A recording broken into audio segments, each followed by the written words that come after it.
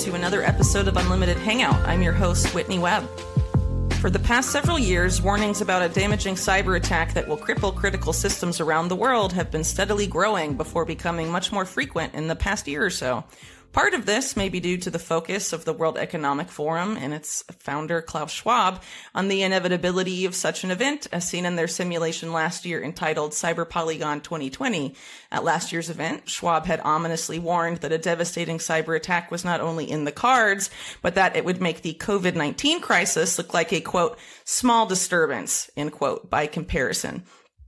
Since then, the World Economic Forum has been involved in the creation of various reports in conjunction with the dominant players in the financial sector, including Wall Street banks, central banks, SWIFT, and others, that suggest this coming cyber attack will explicitly target supply chains and third party providers of critical services. They further argue that those responsible for the attack will include at least one nation state, with only U.S. adversaries listed as possibilities, that the attack will start off small in one part of the world and then crescendo into a global catastrophe, and that ransomware will be the most likely type of attack used to either instigate the event or deal the mortal blow.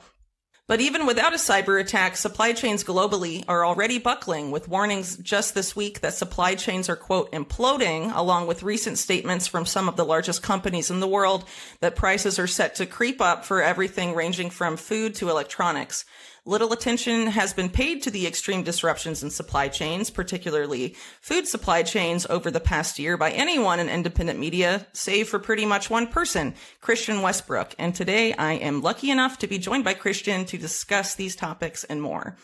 For those who may be unfamiliar, Christian is an agricultural researcher and founder of the Ice Age Farmer broadcast, which occupies a very important niche in independent media by focusing on how the elite are targeting the global food supply, both in terms of the effort to mechanize and commodify the natural systems that have powered agriculture for millennia and the parallel effort to criminalize actual sustainable agriculture. So, how's it going, Christian?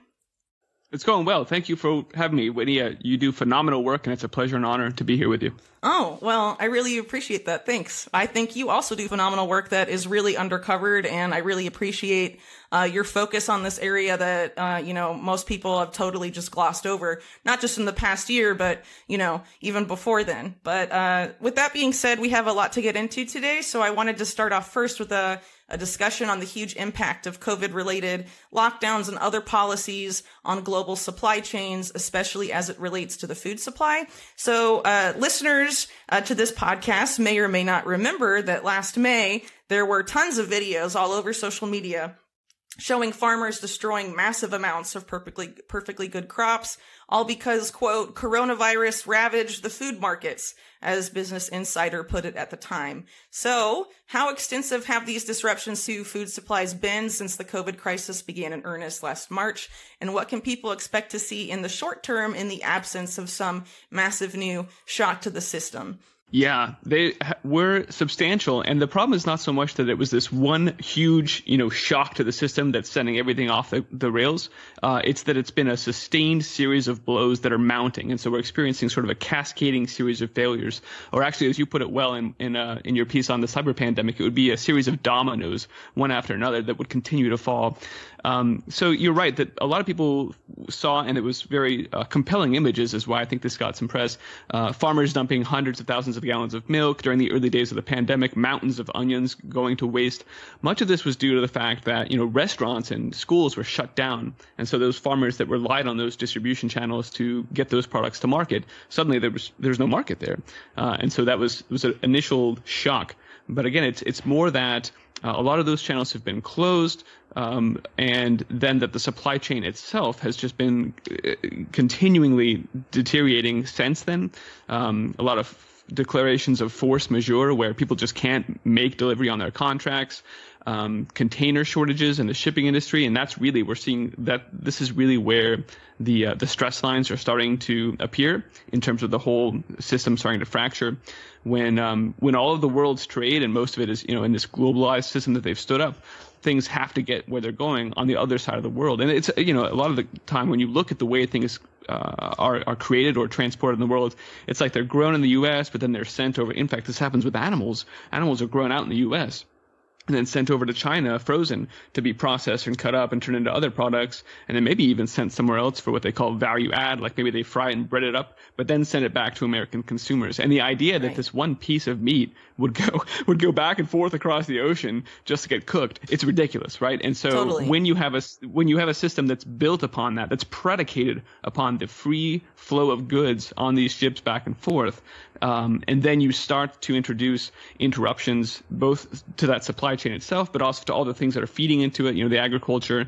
Um, now we've also seen the Texas grid going down. That's one of the, there's ports and there's a lot of petroleum and plastics production down there. So the plastics production is still shut down. And then of course the Suez Canal getting blocked a couple weeks ago. It's these it's these serial attacks on the supply chain itself that are really starting to, in fact, are turning into uh, massive problems.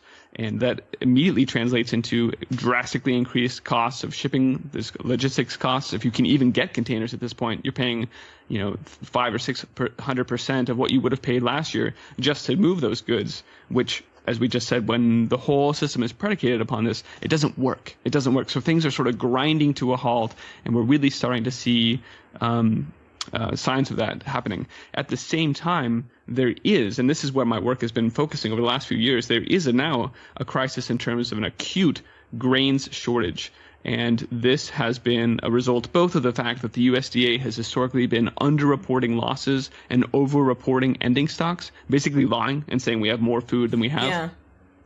And um, and over the course of the last mm, six months now, they sort of started walking that back. We're now experiencing sort of a day of reckoning where they say, well, we really don't actually have the grains that we thought we had.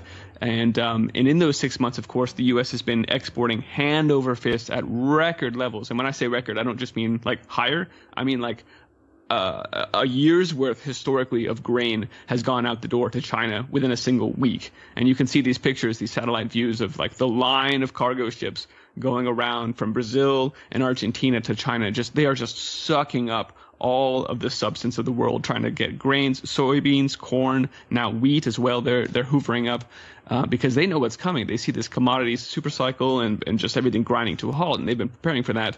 But the U.S. sadly has not. Uh, and so we're in a situation where that's why we're now seeing everyone's starting to sort of appreciate, uh, especially now that South Africa's crop has, or sorry, South America's crop was really bad for grains. Um, that uh, that this is an acute situation. There isn't some next crop of corn or soybeans com- coming in that's going to be able to fix the entire situation, and that's why we're now sitting historic levels for corn and soybean prices. And so it's important to actually sort of keep track of both of these things as we have our conversation today. Yeah, so I, I, think it's really important for people to keep in mind just how many decades in the making this crisis is.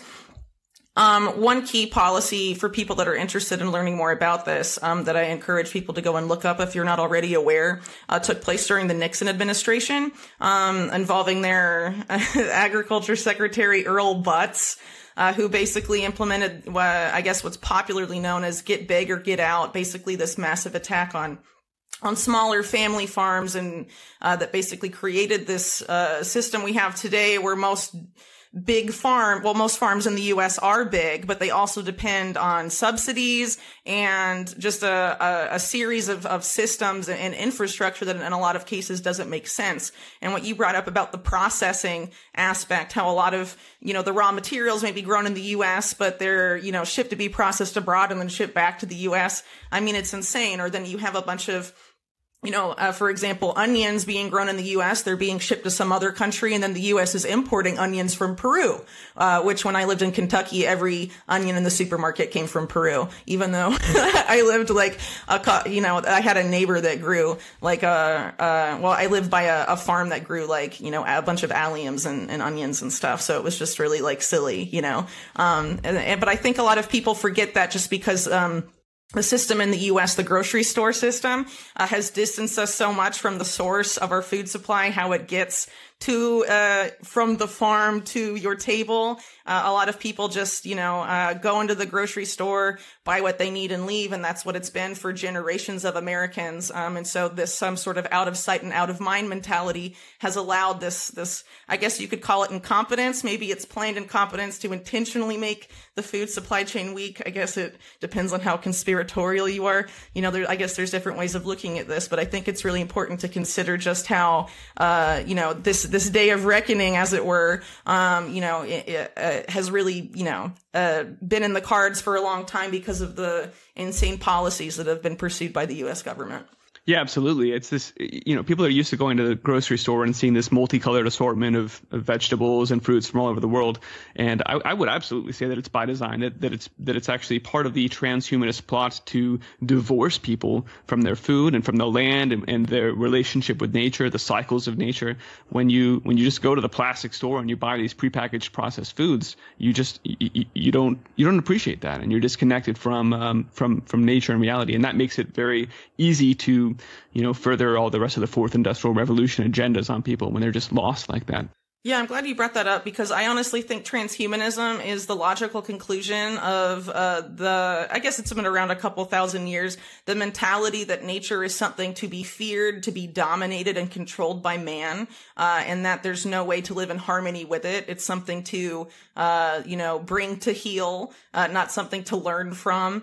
Uh, you know, so I think a lot of these, uh, you know, uh, very avid transhumanists. I have uh, meaner words for them in my brain, but I'm trying to be uh, professional. But they, uh, you know, I, I think they have the same mentality that they view the the natural as as bad or wrong or scary and are looking to control it. And and they think they are able to direct the course of evolution in a better way than nature can just because of this uh, long-standing uh, ideological uh, viewpoint that's been perpetuated by a series of uh, religions and and governments. It was you know in colonialism too um, among among other things. So I think that's a really important point to bring up. And speaking of these transhumanist people, uh, not only do they want to uh, put a bunch of stuff in your body that doesn't belong there, uh, they also want to put a bunch of uh, things that don't belong in, in agriculture as well. Uh, so uh, it might be worth talking about the solutions that uh, the elite want for these uh, supply chain issues, particularly with the food supply chain. Things like AI powered farm equipment, uh, genetically engineered uh, meat for some, uh, or in the sense of gen- genetically engineered livestock, so you're still allowed to eat beef but it's special, uh, and then lab made food for others, uh, among others. So, um, what sort of solutions have you seen uh, being sold to the public the most recently, and which ones alarm you the most? Oh, that's that's a huge question, and you're right that it, it spans it runs the gamut. So even before seeds, you know, you've got Bill Gates with his new Ag One initiative, and this is basically working with the Rockefeller uh, Foundation on sort of the Green Revolution 2.0. And their goal there is to literally go out to all the indigenous populations and and suck up. I mean, it's no coincidence that Bill Gates is one of the big funders behind the Seed Vault there in Norway, and so mm-hmm. the, the goal is to inventory all life on Earth and suck in the genetics and sort of look at what works well and what might work well during a drought over there or what can weather the storm over here, and then use CRISPR editing technologies to create this artificial life, right? Of course, because we're we're not just taking ownership of God's creation, we are defiling it. And as you said, we're, we're better than that. We're going to improve upon that because we're technocrats and we can do that. Um, and so we're going to take all the DNA of Earth and catalog it all.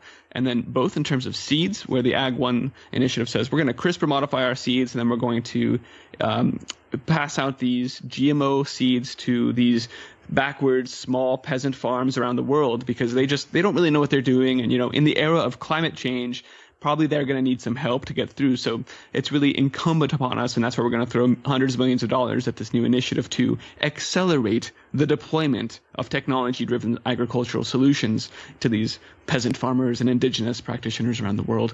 Um, and it's it's really a, a crime because these are, I mean, in some cases, hundreds of generations of you know, indigenous farmers who've been passing on seeds from their um, from one generation to the next. These seeds know where they're grown. They they have grown up with part of the culture. So it's it's really terrible. This is more about divorcing humanity from where we come from.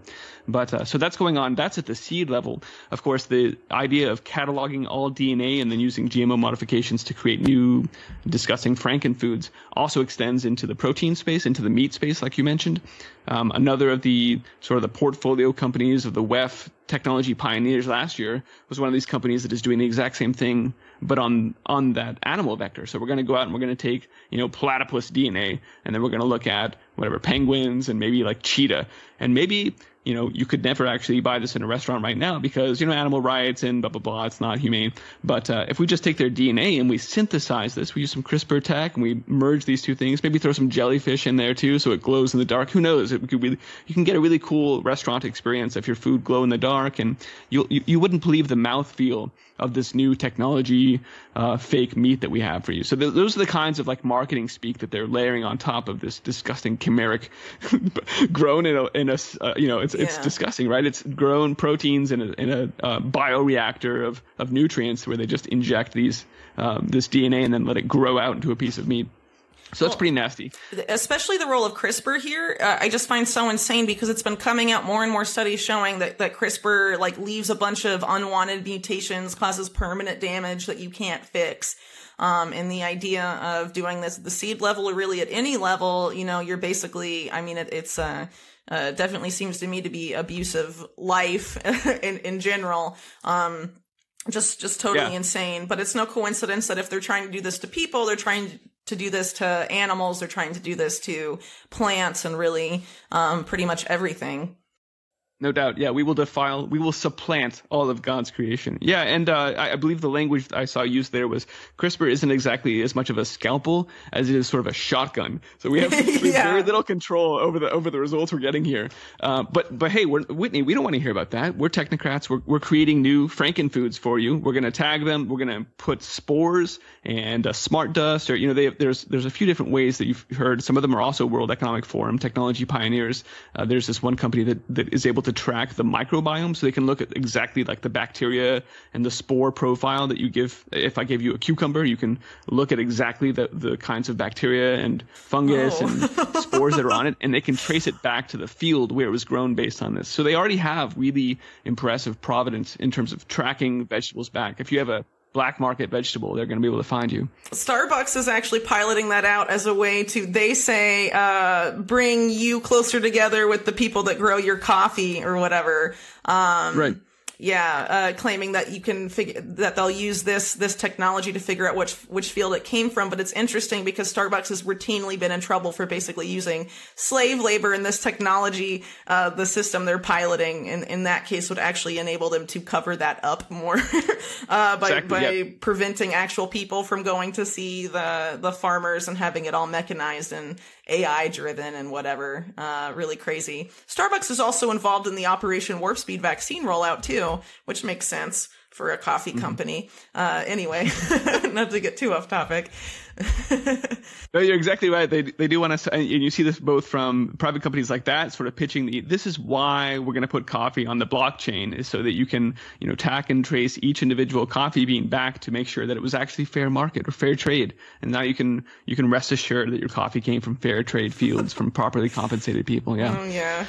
Trust Starbucks AI to tell you the truth. That's that's good so, um, so yeah, we sort of hit like GMO plants, GMO meat, and then the idea that the, the, all of this feeds into the fourth industrial revolution, complete awareness over the blockchain driven with AI of all resources and all economic activity on the pl- on the planet.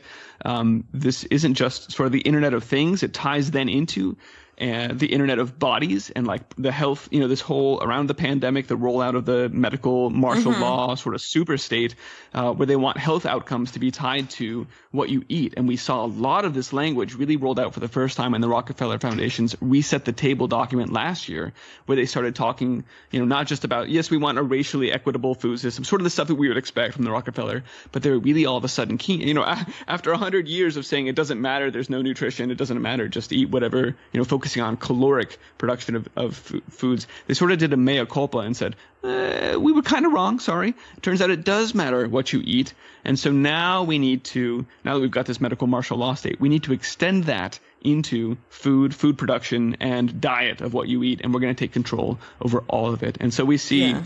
uh, prescribing certain foods. There's like a prescription for broccoli is one idea, but of course that just like the smart drugs that have little transmitting devices in them and will report on you if you don't take your medicine on time.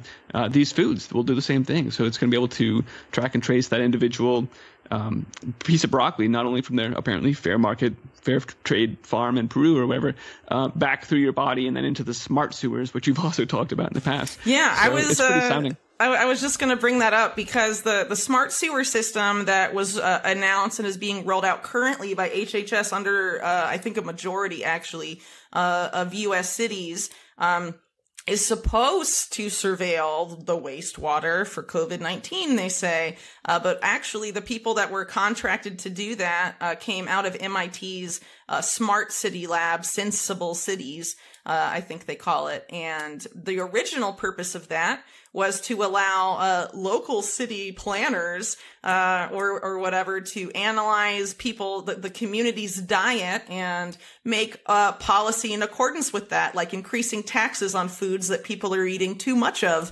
um, among other things, and potentially uh, banning some foods or promoting some others and what uh, what what you know what have you. Basically, paving the way for the government to uh, mandate what people can and can't eat. Very slippery slope, considering that they're already basically setting this up. And it also has a war on drugs component as well because they also have piloted it uh, with the NIH before for targeting, um, trying to see who is uh, using opioids in in high amounts in various parts of the of the United States. So definitely a multi-purpose op, but now they want to surveil what's going on inside of your body, including what you are ingesting, not just external surveillance anymore or what you're saying online or where you may be going. Uh, they're trying to take it to the next level. And actually one of the preeminent World Economic Forum thinkers, uh, Yuval Noah Harari says that once uh, surveillance and, and, and, these objects are able to get on and in the body, uh, uh, on the body being, you know, biometric wearables, that is when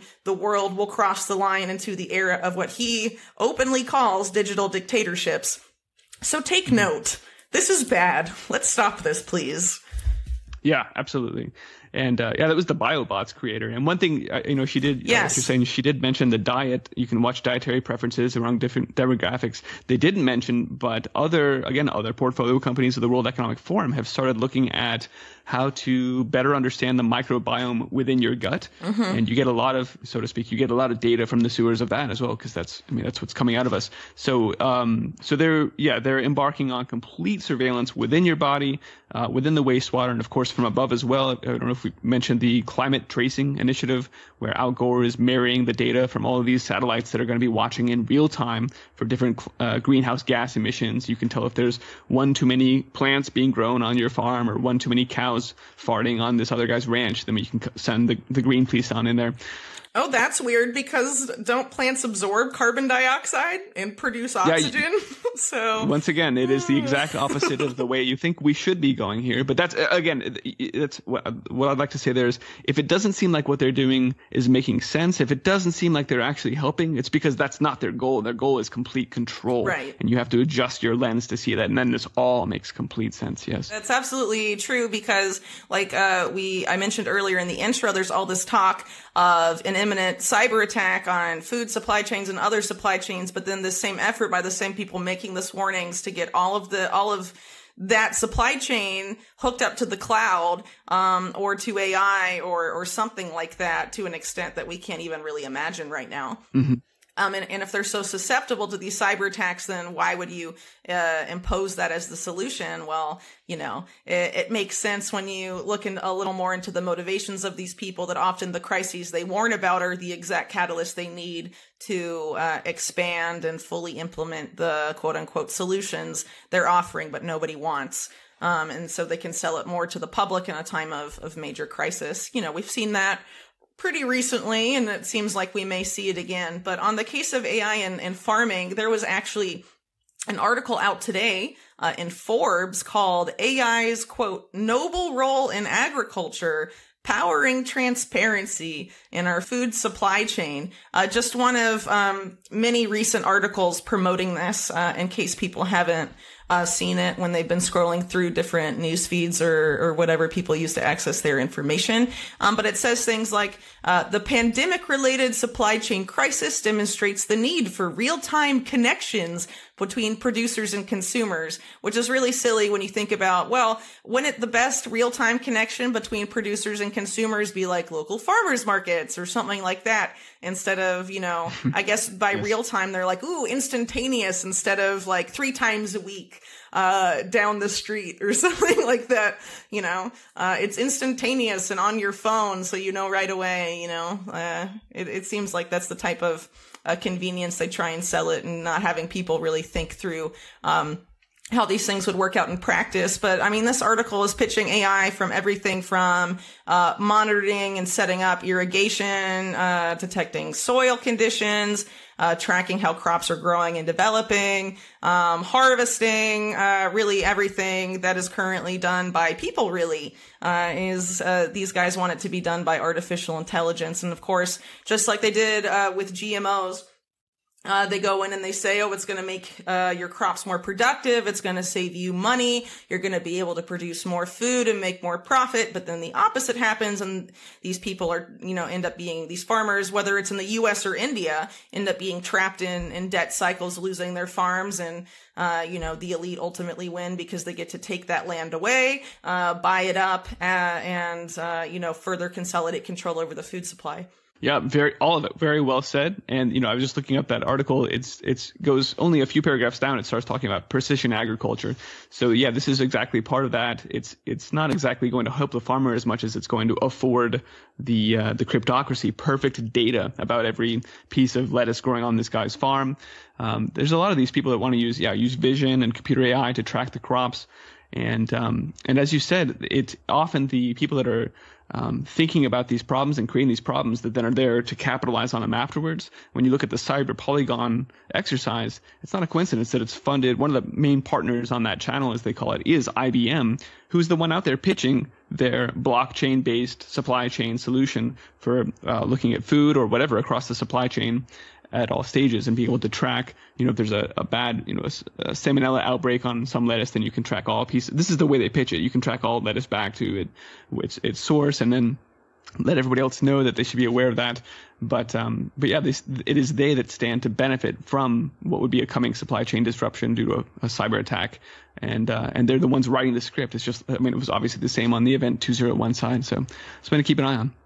Yeah, so what's crazy is that the World Economic Forum right now are not just involved in trying to um, basically uh, redefine one type of supply chain. They're trying to do it for every type of supply chain, and it's all involving blockchain. So I came across this when I was writing about the situation in Tanzania with the recent pretty suspicious death of uh, of their last president, uh, their extreme involvement in basically redirecting uh, mineral flows and mineral resources, um, all these different uh, blockchain driven uh, initiatives related to mining, and, and it's really comprehensive.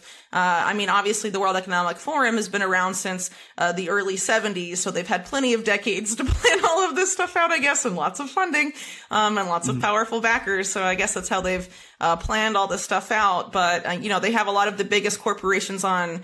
Uh, on their side, you know, one of the main companies that they back in their uh, mineral resource uh, supply chain efforts is Glencore, which is already one of the biggest, uh, if not the biggest, uh, commodities companies in the world. Uh, long-standing ties to Israeli intelligence, going back to its founder Marc Rich. Um, who was controversially pardoned by Bill Clinton his last day of office for his uh, role in, uh, you know, uh, illegal things benefiting Israeli intelligence, but were against U.S. law, among other things. So that's the type of people that the World Economic Forum likes to partner with. Um, but in the realm of um, you know, cyber polygon and cyber security, it's interesting that there are a lot of, um, you know, similar intelligence actors that do pop up there. Um, some of them you can see at Cyber Polygon. Some of them you can see at the World Economic Forum Center for Cybersecurity. Uh, one really obvious example is uh, that Center for Cybersecurity's head of strategy uh, was one of the main guys in Israeli military intelligence uh, for years, um, intimately involved in the development of uh, Netanyahu's cybersecurity policy and this effort uh, or this policy that began in 2012 that I've written about on, on several occasions about um, basically making front companies for operations previously done in house by Mossad and other Israeli intelligence agencies. These fronts will then do it and they get embedded or bought up or acquired uh, by major Silicon Valley giants. The architect of that is running the WEF Center uh, for for um, Center for Cybersecurity Strategy right now, which of course uh, that Center for Cyber uh, cybersecurity uh, is uh, the part of the World Economic Forum that does Cyber Polygon, which is now going to be an annual affair until who knows when. Um, but you know, 2020 uh, was the one that happened last year, and there's going to be one uh, this year as well. Something to look forward to, I guess. Uh, but what's interesting is one of the main partners in a lot of these initiatives related to cybersecurity with the World Economic Forum are big banks um, and financial services uh, specifically. Yes. But a lot of these guys are warning not so much, uh, well, they're warning not only of a, of a big hack on the financial system, but they're saying that in tandem with that, there's going to be big attacks on supply chains themselves uh, third party suppliers of critical services. And of course, they're all pointing to SolarWinds on that, uh, which has not been investigated at all. Uh, for those that um, are wondering, they said uh, intelligence came out and said, oh, it was Russia likely, but they didn't provide any evidence and they still haven't. So uh, they clearly haven't investigated it, nor do they intend to at this point. Yeah, absolutely. And, you know, the CIA director, Bill Burns, had recently told the House panel uh, that uh, China, of course, he blamed China, but he said they are uh, using cyber attacks and they can launch these attacks that are going to cause temporary disruptions to critical infrastructure within the U.S., and that includes grid outages and supply chain disruptions. Um, so even though we're talking, you know, of course, the World Economic Forum is a very public facing part of the whole thing. So that's why their name keeps coming up. But they're just sort of implementing the, the things that have come out of the Club of Rome and the United Nations and uh, a lot of these organizations for a long time now.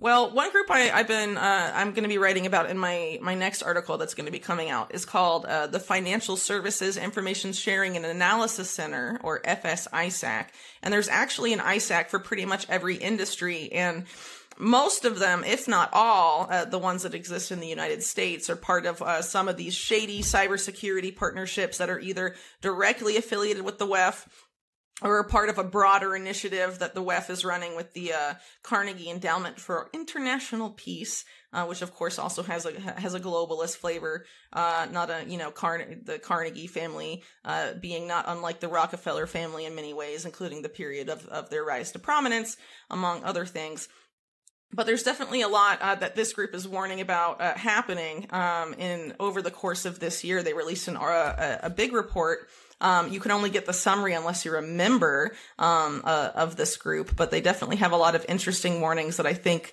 um, are worth uh, taking into consideration, especially considering that a lot of these, uh, the people that run this ISAC, um, are basically some of the biggest people in uh, banking today. You have like Bank of America, Citigroup, uh, the biggest uh, insurance companies like uh, Humana is there. Uh, you also have Wells Fargo as a bank. You have a guy from Swift, which is critical financial infrastructure.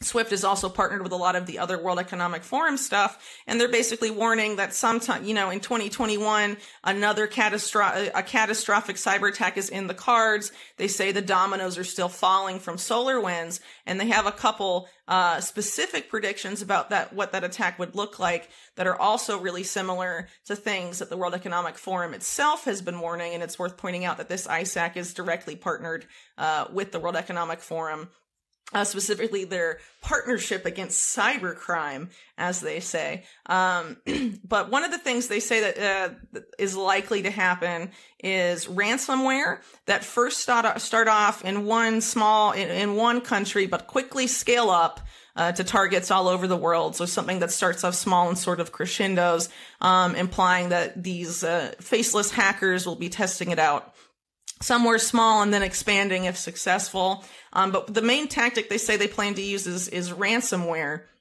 And that ransomware as a service will evolve um, and involve uh, nation states at some point. And they, they further argue in a separate but related uh, prediction that nation states and cyber criminals are going to join forces to enact this uh, this this big hack uh, that they see as imminent. Uh, they don't exactly put a date on it, but their previous report didn't exactly frame it as being imminent. Uh, they say their concern about it being imminent is related to the increased digitization of everything over the course of COVID-19. But some of this, the claims they make in here are, uh, very false. like, uh, their claims that, uh, they, one of their predictions, for example, is that, um, uh, economic drivers towards cybercrime will increase And this is them saying uh, that the pandemic and all of that has made uh, cybercrime more attractive, uh, and that increases in cryptocurrency valuation will also uh, basically motivate people to conduct ransomware attacks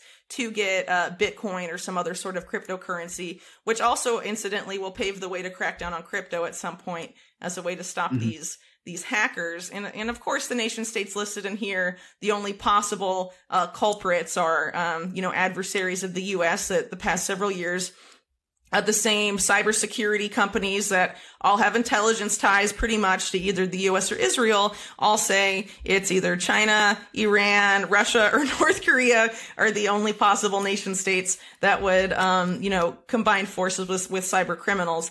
But um, on the point of uh, something being totally false in this report, their claim that cryptocurrency is is inherently related to crime uh, is really silly. Like uh, last year, despite the increase in in everything becoming digital, the amount of um, cryptocurrency transactions used explicitly for cybercrime was under one percent. It was like zero point three four percent of all transactions, and that's down from two percent in 2019. So they're obviously creating a problem out of out of nothing, or basically grossly exaggerating um, a problem. So how much can we trust their other stuff, especially when they stand to benefit uh, from these critical systems collapsing?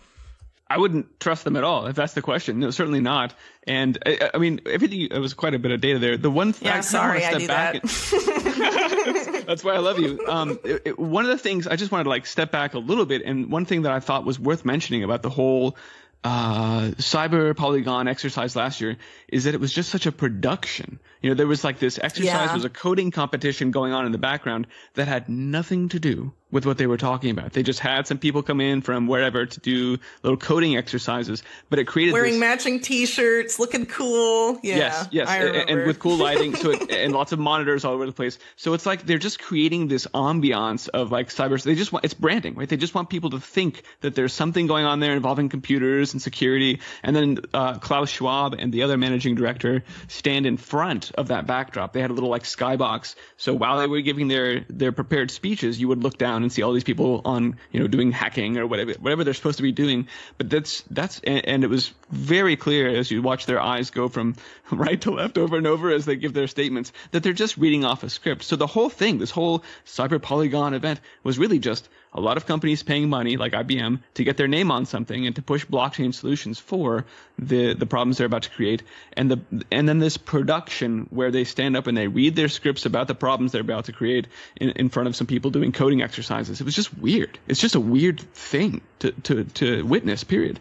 Um, and that is actually very um, it's a great example of sort of what you're saying, which is there's just not there's not even truth to anything that they're saying anymore. It's just this script, this big production that they're enacting. They don't believe what they're saying either, but they know they've got to say these words so that the mass of people that really hasn't started thinking critically about what's going on just walks straight into their fourth industrial revolution. Doesn't doesn't question any of this stuff.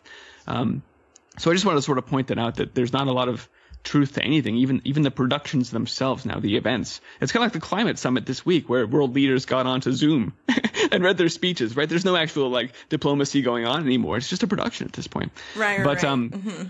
But it, that's okay, a really so, good so, point. Yeah, how it, how it's just moved to be more overt theater than before. Like they're not even real meetings; they're like these um, sort of acted out, yeah, like scripted things, like you were saying. A lot of the stuff the World Economic Forum has that flavor to me um, in general. They're because they're obviously so concerned about what people think about them.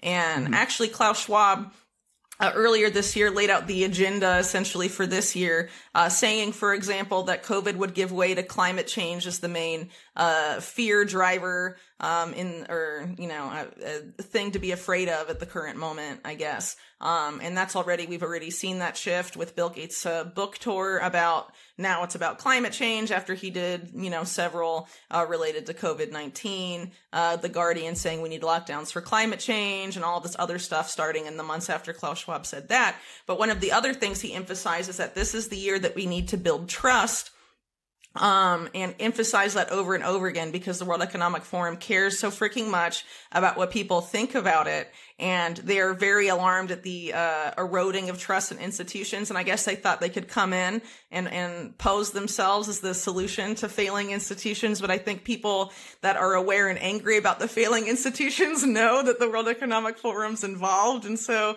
I guess maybe they didn't plan on that or something. So they're trying to build trust over the course of this year. And one of the main things they want to do is give the illusion of progress at some point. Um, you know, whether that's a return of a little bit of normalcy or, you know, some sort of, um, big progressive, um, policy is is allegedly implemented, but really it's sort of a way of advancing uh, the same agenda, the fourth industrial revolution. But they frame it as a big policy win, uh, you know, for uh, the people or something like that. He sort of set it up that way but it's interesting to emphasize how interested they are specifically in in in the trust of people right now um, which is why it's so important to um, you know expose how shady they are and why they are bad. Um, but i think the scripted nature of all of this really reflects that that they're trying to make it a big uh, production um, in, in, a sense. But um, you know i think most people that actually watch this stuff see right through it yeah, I, I would hope so. But then again, most people don't even watch it. And so that's yeah, it's, it's, it's for those true. people. I was trying to it's be for those people that just sort of. but... no, I'm with you. I just I think I think it's those people that aren't paying attention that would be like, oh, there's some guys in front of a computer talking about this, uh, that would actually be fooled by them. Um, as far as like switching to climate, yeah, that's absolutely happening. And I just wanted to mention that like the banks are just as they're underwriting some of the things you were speaking to earlier, they're right there along with the absolute zero carbon agenda, forcing the shipping industry. Oh man, yep. they are ready for carbon markets. They are excited. Yep. They've been excited for years. And oh man, the oil companies are the most excited Oddly, about that yep. stuff. There's your um your climate saviors right there. Right with the perpetrators yeah ex- just with that just as with agriculture it was the same companies like tyson and cargill and syngenta that have been buying up all the seed companies and all the family farms across america and merging and acquiring and turning it into this big monstrosity and uh, installing these CAFOs where they shove all the animals in and just feed them full of antibiotics and do all these terrible practices. No one in their right mind would ever advocate that that's the right thing. Uh, and now they step back from it and they put the camera on it and they point at it and they say, This is disgusting. We have mm-hmm. to end animal agriculture. We have to take away your animals. So they create these straw men. They create the problems. It's it's one big Hegelian dialectic, uh, and then they offer up their their control based solutions. I did actually before we go any further, I did want to mention that like some people might be wondering what does it even what does it mean when we say it's an attack, a cyber attack or a ransomware attack on the supply chain. And there was a good example not too long ago that actually there were a ton, but one that stands out for me was one on a company called Americold, which is the, the I think it's the world's biggest, but it's certainly the United States' biggest frozen storage company and logistics company.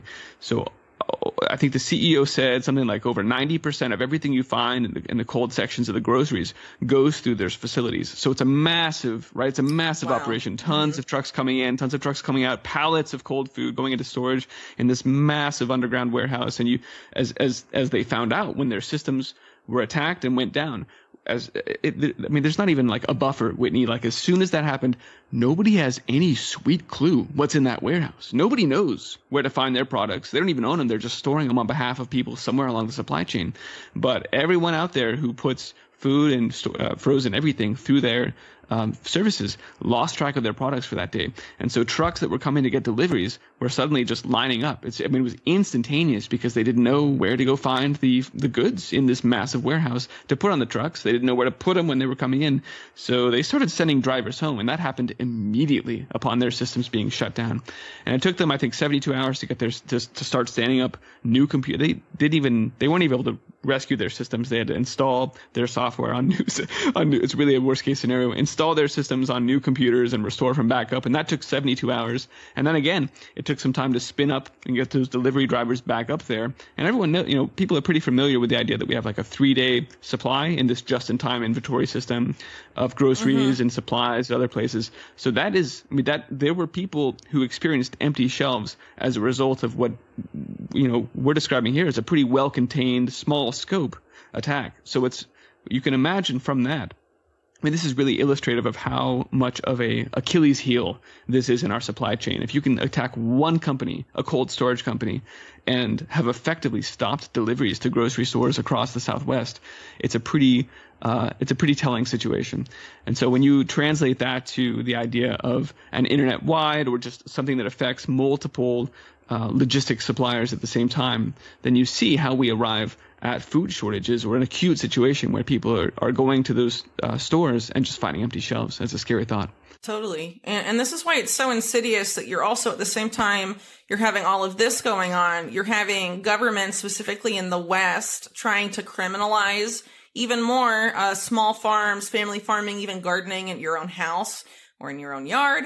Um, and uh, you've covered a lot of this recently, like attacks on sustainable animal husbandry and the use of organic fertilizers like uh, livestock manure, things that people have used for uh, you know, forever, basically, as long as agriculture has been around and animal husbandry has yes. been around. You know, this is something that has happened. And, uh, you know, I mean, it's absolutely insane. But, uh, if you wouldn't mind going over some of the, uh, current efforts in the U.S. and elsewhere to criminalize, um, those efforts and basically try and prevent people that want to be independent of this crazy, uh, fragile food system that they're openly saying is going to be attacked at some point.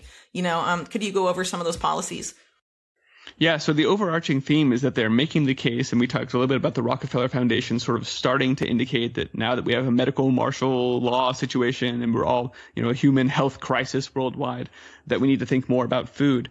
And part of that is making the case that uh, farming and ranching is dirty and antiquated and there are these risks of zoonotic threats and we just we can't we can't afford Whitney to do it that way anymore. People died because we had farming and ranching. Even Fauci himself put out a paper last summer that said if you look back, you know, in the, in the abstract, it made this statement, which is just a stunning statement. It said the origin of pandemics in human history began when we started agriculture and animal husbandry. So he even in that abstract is blaming farming and ranching. All right, send Fauci uh, to the jungle and see how he does. Yeah. Little turd. Exactly. Uh, sorry. Yes. um, and and of course we can still uh, sense this in the air when we think about the fact that they have clung tightly to their narrative about the the whole COVID situation stemming from a meat market, right? There's there's the connection right there for COVID to meat and food uh, being dirty and antiquated, but um, but yes, so that's the the theme is that they want farming and ranching to be dirty and antiquated.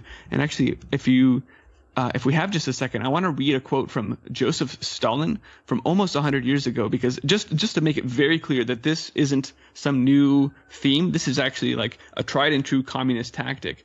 When there was a grains crisis, especially around Ukraine back in the day, he got up in front of the uh, Institute of Red Professors and gave a little talk about how are we, what are we going to do about this grains crisis. I mean, it's it's it's exactly the same words we have today. It's a grains crisis now. It's a grains crisis then. Joseph Stalin took to the stage and said, the way out, the solution to this uh, grains crisis lies firstly in the transition away from small, backward, and scattered peasant farms to amalgamated, large-scale socialized farms, equipped with machinery, armed with scientific knowledge, and capable of producing a maximum of grain for the market. The solution lies in the transition from individual peasant farming to collective, socialized farming. And so it's the same thing. This this appeal to it's communism. We're going to socialize everything, but this time we have science. This time we have technology, and we're going to do it right. We're going to produce a maximum of. The machines can do everything. Yeah. Yes, so. and it's it, this is exactly what we now hear from Bill Gates, who says we should all be eating 100% fake meat because it's just it's dirty and antiquated, and there's climate emissions from the cow farts, all these things, um, saying that we have to shut down farming and ranching. Uh, so well, I just wanted to sort of give that go ahead. Oh no, I was just going to bring up um something I saw in one one of your videos recently was this proposed law in Oregon that would basically prohibit people from basically having ranches at all. Um, based on how it how the text was, it was basically you're not allowed to uh, kill an animal for meat. It has to die of natural causes. Uh, for and so obviously, like every rancher in in the state uh, is instantly out of business if that's the case and becomes an an animal abuser. Um, and and even people on a smaller scale, maybe you've a, a small farm for your family you have a hand you you know you have uh, chickens or something like that. Sometimes you know you you kill them for meat or or whatever. And especially if you know the current situation in the world advances and progresses anymore some people are going to have to rely on that um you know you know they're basically making that um a crime pretty pretty mental um anything else you want to say about laws or laws like that no, you're exactly right. On a on a more yeah. So Oregon, it's sort of an extreme, one of the more extreme versions of it, and that's sort of what they'll do is they'll hit the low hanging fruit in terms of states that will actually go for these things. Colorado has a similar bill called the PAWS Act, and that's actually on the ballot now. That would do similar things. It would basically criminalize animal husbandry, and the idea here being you can still have pets but you can only eat animals if your pets die. You can't raise animals to uh, you know, to have meat, and so it's pretty out of control. I think you know the the Oregon flavor of this makes the case that animal husbandry is like sexual assault, and they they sort of take an animal welfare approach to the whole thing, which of course everyone wants to give animals a good life, but to say that you're not allowed to raise animals ever again for your family is not how we do that. Um, I think it's more likely uh, that that we'll end up seeing more the tact that um, is going on in other places, like in the UK right now. They were going around and confiscating birds and killing people's birds, gassing people's birds because they were blaming a outbreak of bird flu at the poultry factory a few miles away. And so between bird flu and then on the pig front, there's something called African swine fever, which has been ravaging China and is now poised to go to the EU as well. Um, and so all, again, all this tying to that idea, this basic theme that animal ranching is dirty and, and dangerous and ridden with pandemics. I think we'll see more and more people make the, and, and in fact, the, the uh, FDA has started putting out warnings that uh, people keep dying because they're keeping chickens in their backyard. It's like three people a year, but you know maybe you'll get an infection from your animals, and it's just for your own safety. We're gonna have to take animals away. So I expect it'll be uh, the health vector that they use to take animals away. But even when they say that, oh, you can still have pets, that doesn't nece- that's not necessarily true either because they're saying, for example, now, oh, you're going to get COVID 19 from your cat. You have to stay away from your cats now um, mm-hmm. while also saying having pets is really bad for the environment. You can't have mm-hmm. pets anymore because they do so much environmental damage. Specifically focusing on on cats and that one too, because yes, cats do um, attack birds and and do other things and what have you. But a lot of it comes down to this this uh, technocratic plan to basically ration uh, energy or calories or whatever to you and your family, and you know you have to have a much bigger allowance to be able to include an animal in that um, you know, in this in this type of future they're trying to usher us all uh, into. So even if they're like, you can still have pets, uh, it's not gonna be like that. They're gonna try and basically make what was predicted in the Philip K. Dick novel uh, that inspired Blade Runner, "Do Androids Dream of Electric Sheep?" where basically, you know, only the elite and only the rich actually are even able to be around live animals and everyone else has to you know just have uh, robot animal pets uh, or you know they they only see when they walk around or go to places animals that are inorganic and synthetic instead of actual and, and living. And that's basically uh, seems to be not that different from what they're trying to create here Absolutely, you're exactly right. Yes, it's it's the othering of humanity and nature. So that's you can see animals they're over there. They're separate from us in the smart cities. And maybe you can get a picture of someone that's out there in the biodiversity corridors that the UN Agenda 2030 things carved out. But we're not allowed to go over there. We certainly can't live there or farm there anymore. We shut that all down, starting with a 30-30 plan that's already right. That's that's out there now. Biden paying farmers to stop forcing them and then giving them some money to stop farming. It's the same 30% of land being set aside for conservation and 30% of the waters is the same numbers that have gone in under Boris Johnson in the UK there. And, uh, and it's coming down from the UN. So yeah, so they'll gradually be moving humanity more and more into the smart cities using the zoonotic threat and all of these resource constraints. And, uh, yep, you're exactly right. Uh, well, what a future, huh? Uh, I'm not down for that, but you know, um, uh, I think something that uh, you're also a really good guest to talk about with are ways to resist these uh, agendas that we have outlined. Maybe not so much the cyber attack angle, but in terms of uh, you know how to um, be more resilient uh, in terms of your own food supply and things like that. Um, I don't know how much uh, we have about uh, 10 minutes or so um, if, if you wanted to go over um, some practical things uh, people can do, including for people who may not be necessarily uh, not consider themselves gardeners or agriculturally inclined.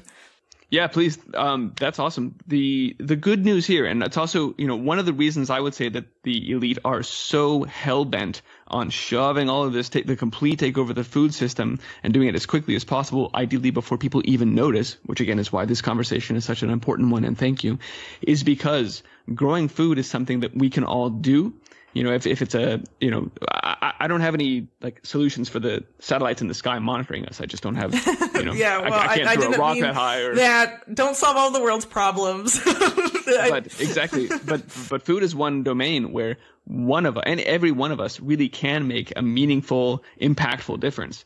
Uh, so growing food is is not that difficult, or else humanity wouldn't have made it this far. It just mm-hmm. takes a lot of us right now, everyone hearing this conversation, ideally to go out and plant some seeds and then start saving those seeds. One thing that's really great about seeds is that they learn about where you are, about where you grow them. And so if you just buy some survival seeds and put them in the closet and wait, that's that's that's really not going to do as much good as if you uh, get in the habit for one because you need the skills, but of of growing them out where you are every year, acclimating them to your growing zone and to your uh-huh. soil and to your own climate and letting basically letting them learn over the course of a few seasons how best to produce for you and plus they are so prolific that that means you are then you know at the end of this next season positioned to share those better seeds with all of your neighbors as they start to realize, wait a minute, food prices have you know quintupled or whatever it is by then. Yeah. And uh, and I need to be producing my own food. So uh, again, everyone have, hearing this is a call to action. Everyone hearing this conversation, it really needs to get involved with raising animals and uh, growing food and saving seeds. Even if you're in an apartment there are amazing things you can do using systems like aquaponics and hydroponics just to start learning and start food production and get us through this acute period here. Um, and I've you know I've also talked to people who put little bags of soil on top of their RV, and I just I, I, give those examples because I don't want anyone to say, well, what could I possibly do? You know, I talked to a guy earlier who's like, I've just got a black thumb, and so I really can't can't help. I'm not a green thumb kind of a guy, but uh, but every one of us can get involved here, and uh, and should. Yeah, well, you know, even if you're not agriculturally inclined, I've always considered seeds uh, in and of themselves to be really, uh, uh, you know, excellent in terms of bartering uh, during a crisis or a long-term crisis, especially especially when you know the World Economic Forum and these guys aren't talking just about shocks to the food system, but also the financial system. Um, these types of things that you need to survive to feed your family, things like that, um, are definitely worth considering from the bartering perspective. Um, like farm tools, not necessarily uh, that that people will need or may want to borrow, things like that too. Um, you know, there's different ways to think about this stuff, even if you feel like you have a black thumb, uh, I would encourage you maybe to just, you know, learn a different style of agriculture that suits, suits your lifestyle more. Um, uh, that's just based on my personal experience. Because some people may not know, but actually, before I wrote, um, I was all about agriculture. That's actually why I went to South America in the first place. I managed a farm in uh, rural Peru uh, for about a year and a half, then worked in Cusco, and then made my way down trying to do small time agriculture stuff um, with some people uh, in Chile, and then eventually ended up writing uh, instead, uh, oddly enough. So this is definitely something uh, very near and dear to my heart, and I really encourage people to get involved in this because, you know, the, one of the reasons I wanted to get involved with it and why I ended up studying uh, uh, well i double majored but one of my majors was related to to agriculture and, and agricultural um, ecology. One of the reasons i was so interested in that was because I could see then how fragile the supply chain was and how no one I knew in my personal life had any idea about traditional skills, uh, not just growing food, but really anything, no idea about how to produce uh, the things they need to survive. And so I, I didn't want to be like that. Um, but you know, you, you, if you've never thought about that stuff before, uh, you know, there's still plenty of time to even just learn a little bit. You'll probably, uh, be miles ahead of your neighbor. Um, you know, I mean, you, you, don't really know, but there's really no point in, in, in waiting at this point. And the more, uh, knowledge we can arm ourselves with, even if you feel like you don't have a lot of space, to garden or whatever. I mean, that in and of itself is really uh, valuable. And there's a lot of uh, books out there and a lot of knowledge out there. And, you know, what, what a lot of what we talked about today sort of, um, focuses on this sort of war on indigenous agriculture and, and I guess what to, a lot of people to, in the West today call permaculture. Um, these, um, you know, long standing agriculture systems that have deep ties to the land and the culture where they, um, you know, sprung up. I mean, we really need to, uh, re- redevelop those and resist the disappear, the efforts to disappear um, and eliminate that type of knowledge. Um, so I think, you know, even if you don't have the space, you can still learn about stuff and maybe share uh, that knowledge with others, and it could be valuable as well. Yes, yes, looking to regenerative agriculture, something that would actually uh, bring health back to the ecosystems that have been devastated by this last 80 years of monocropping at scale, mm-hmm. uh, rather than failing forward into more technocratic solutions into AI-driven foods. It's just that that's not that's the opposite of what, what we need to do is follow these guys even further. But just to, briefly to, to sort of broaden the conversation, because the supply chain breaking down doesn't just mean food prices are going to rise; it means everything is going to rise in price if you can get it at all. And so I wanted to how do you think about that? How do you get ahead of that? And I think the the answer that I came up with that best encapsulates this is we all need to be moving away from consumption, away from that dependence on those supply chains and that system, and into our own production, into our own mm-hmm. local economies. So if food is exploding in price, then yeah, you can buy stored food, and yes, you maybe you should, but it, even better use of your capital right now while those dollars still have value is to buy like like Whitney said buy some tools for the garden invest in that garden you move your dollars not just into the food but into the production the ongoing production of food. You use the same logic for lumber. Right now it's off the charts. Um, you could stock up on wood i guess. It's kind of hard to store. But a better investment with that capital would be to buy a wood mill so that you can produce your own lumber for your community. You only need one of those and there's usually some trees in your neighborhood. And as people need to build new things going forward here and they can't afford or maybe even find lumber then that thing's going to pay for itself right yeah, so you no. can be the producer of that commodity, and then you're not a slave to some job giving you dollars that won't even be keeping up with the price of commodities. You are the producer. You can think that way for everything. You can think that way for medicine. Okay, I, if I want to be able to grow my own herbs and make tinctures, you can become the, the neighborhood pharmacy. You can uh, think that way for eggs and other protein. If you have hens laying eggs and animals to raise, for honey even. We us imports a ton of honey more than you know, much more than we produce every year. And with these ships lined up and unable to dock off the west coast maybe it's time that you set up a few i just did set up a few hives and you can plan on getting 60 to 80 pounds of honey per year depending on your nectar flow from each of those hives. And that means you're there like you said ready to barter ready to give those things out to the rest of your neighborhood and uh, and then just keep going with that kind of thinking and maybe fabricating parts. We can't get replacement parts for tractors. That's keeping some farmers out of the fields which is a terrible reason for us not to have food. But maybe you should get a 3d printer and stock up on some of that uh, resin. And then when you can as people in your community need replacement parts or need other things for whatever they're building to become the new economy then you're there ready to print those parts and stand up the new systems the new local economies of the future. So that's one part. But then the other part because we do know that these people are actively working to shut down animal it, to shut down agriculture completely, and to shut down local economies.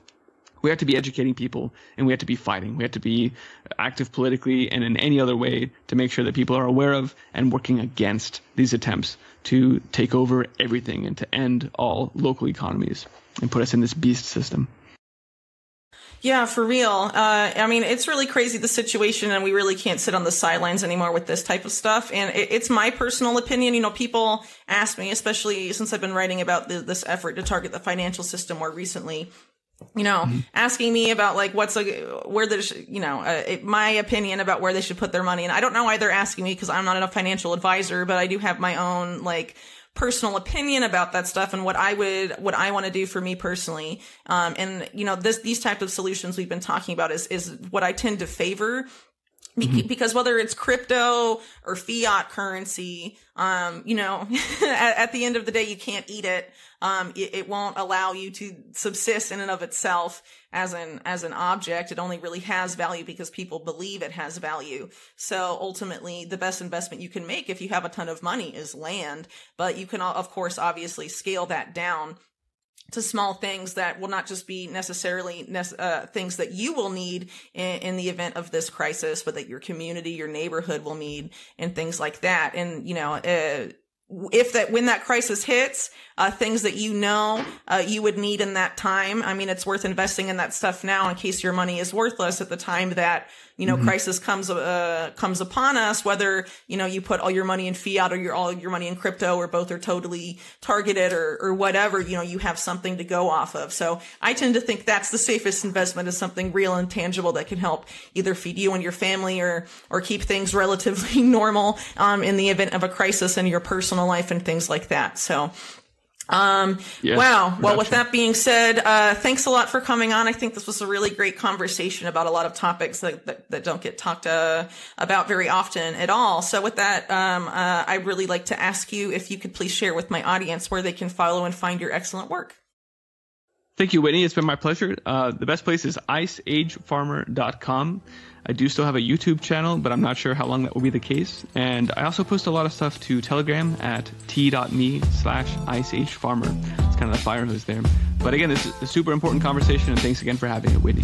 Yeah, absolutely. And uh, with that being said, thanks to everyone for listening, and catch you next time on Unlimited Hangout.